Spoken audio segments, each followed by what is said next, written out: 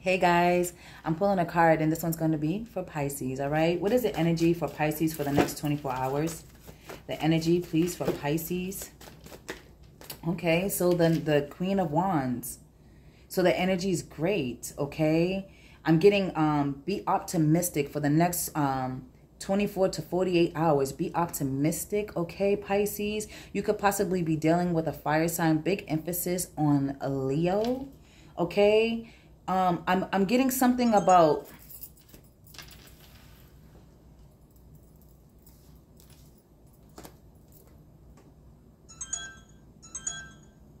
I feel like I see you being extremely grateful in the next 48 hours.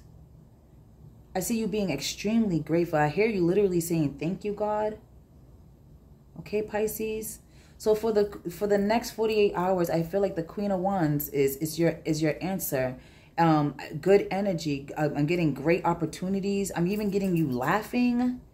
Okay, so the energy is strong. I feel like um there's something here in regards to some type of justice. I'm getting some type of karmic justice. Your karma is strong. So don't be spiteful, Pisces. Don't be vindictive. Don't do anything that can disrupt your karma, is what I'm hearing.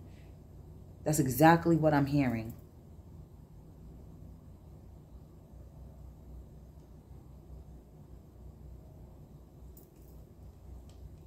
I'm also hearing be grateful that you got you got something you wanted or be grateful that you got away with something. You may feel the need in the next 48 hours to be a little irritated. I'm um, I'm getting if a, there's an air sign like a Libra, Aquarius, possibly this could even be your fucking kids. Even if your kids are irritating you, I'm getting laugh it off. I don't know why, but that's what I'm hearing. Laugh it off.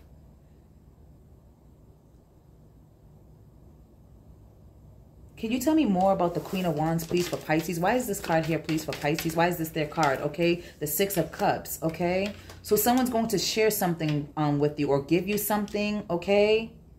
I'm getting, I'm also getting like your ex is returning. Okay, they want, they want to rekindle your relationship, okay?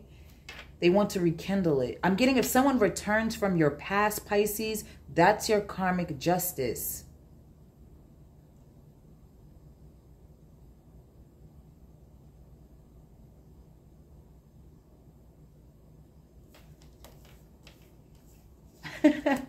I'm getting Pisces, you have a Scorpio child, a daughter to be specific.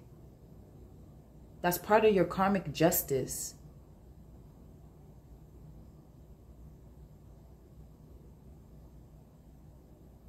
That that that child could be a Scorpio or a Leo. God got big plans for that child their future is so fucking bright. I feel like they have Mercury in fucking Libra or Mercury in fucking um, Aquarius. They're so fucking smart. So this is what I was getting, that irritation with your children, especially with your baby girl. You asked for her. I, I kind of feel like you asked for her and you got her. So I guess Don't be a deadbeat downer or don't be irritated so easily by your child or children. I'm getting you need to tap into your your your your inner child, Pisces.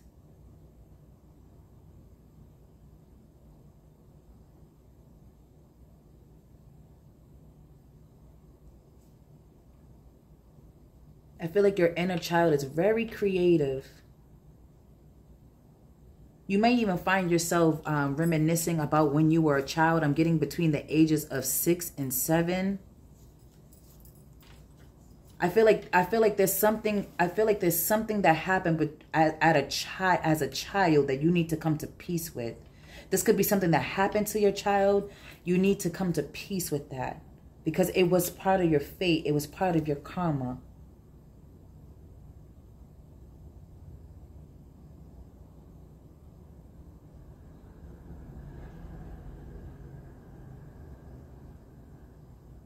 You think, I'm also hearing you think someone's going to get away with hurting you. They're not.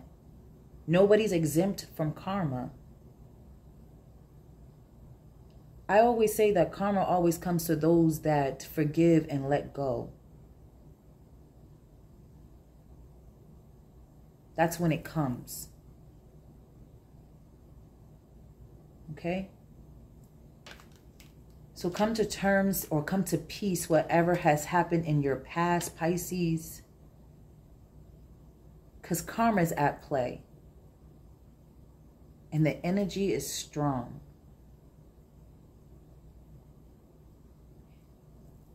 That's what I got for you.